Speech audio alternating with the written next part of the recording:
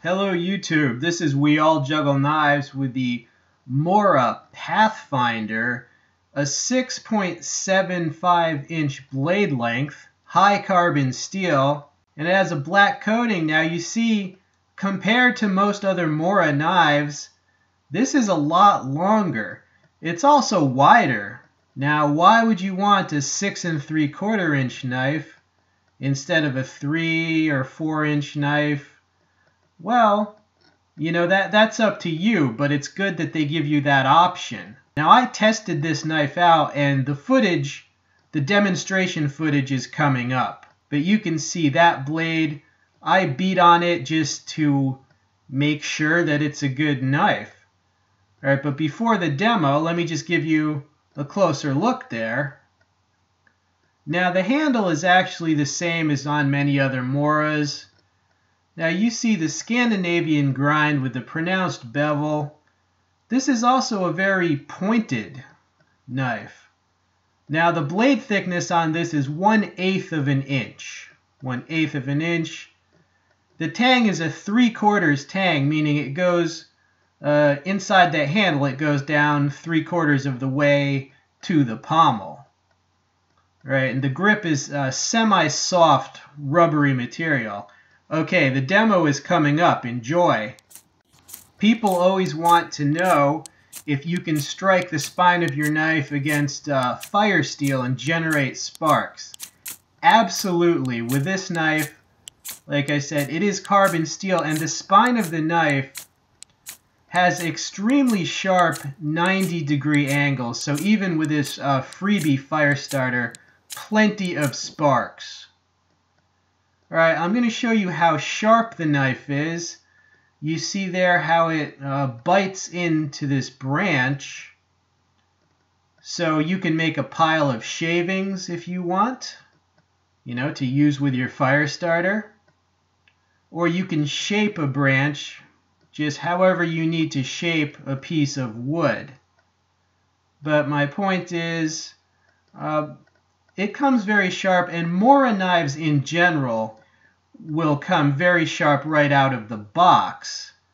Okay, so you have to be careful. Now, I'm not specifically trying to uh, make a feather stick. I'm just trying to show you how it bites into the wood. Uh, however, you see me like accidentally kind of making a feather stick there. But my point is it's a very sharp knife, so if you did want to make a feather stick, it would be well capable of doing so. It can baton um, smaller pieces of wood. I wouldn't really recommend it for larger. All right, with this technique, you stab your knife into something with the blade, the edge facing away from you, and then with a powerful pulling motion, you can pull a piece of wood right um, across the edge and you can then either make shavings or just thin out a piece of wood if you need to shape a piece of wood. Now here I am drilling what's called a divot. A divot is uh, like a dimple or a depression in a piece of wood. And this has a very pointed tip and a fairly strong tip. So basically you can use it like a drill and you can drill a divot into your piece of wood. Right, so, and a divot, divots are used in certain like um, primitive methods of fire starting. All right, so there's your little divot there, drilling a divot. Now here what I'm doing is just uh, making this piece of wood more pointed. Now if you had a longer piece of wood, you could make yourself a spear. You know, you could um, make a wooden spear. I'm just making a little like wooden stake.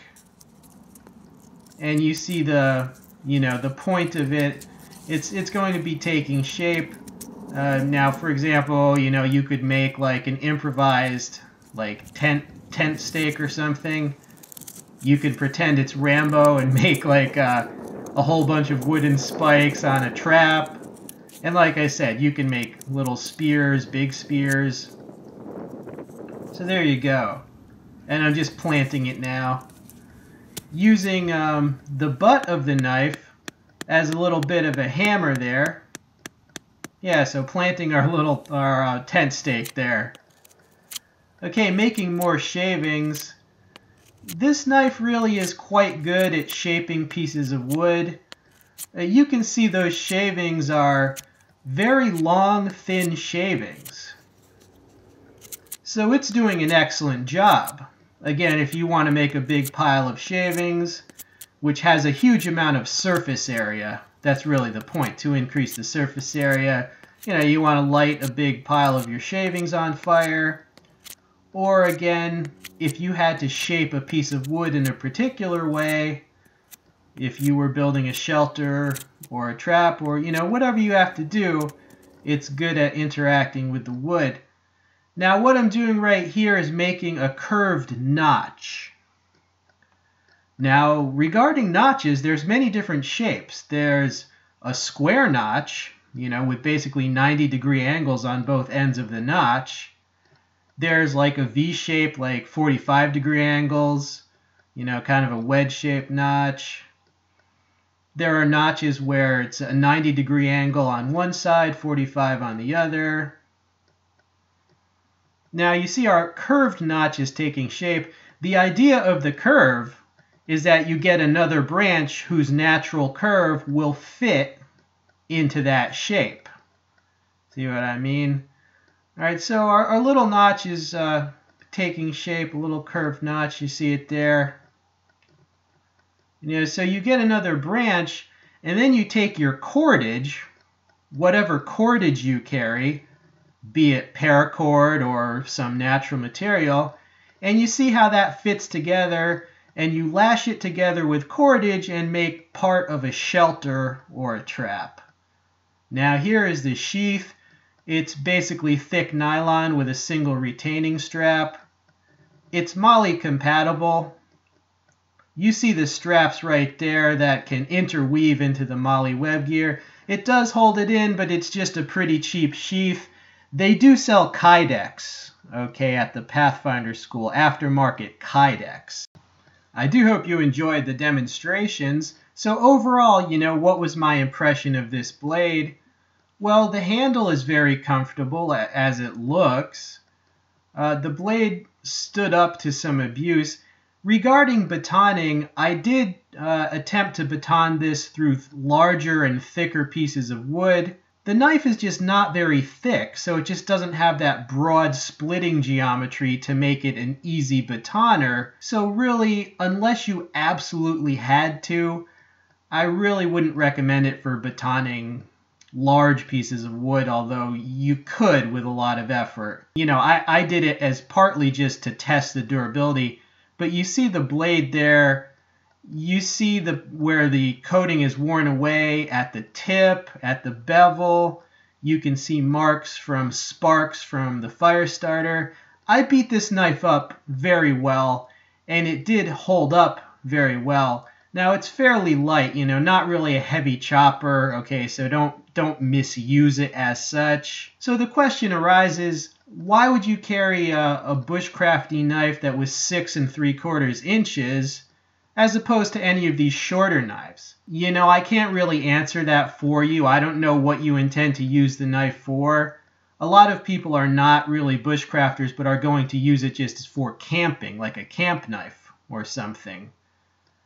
But with regard to slicing, um, a long slicer is usually better than a real short slicer. I mean, like, for example, if you were just think of carving up a turkey, you know, would you carve it with a three inch knife or six inch knife? Uh, the extra reach can be useful when stabbing something if in some crazy scenario you, you lash it to a, a stick and make a spear, you know, the reach would be useful that way. And of course, with emergency batoning, it's a little better but you know, it's it's your preference. But overall, I am really glad they give you this option. The pricing has gone down from 100 now it's currently down to 71.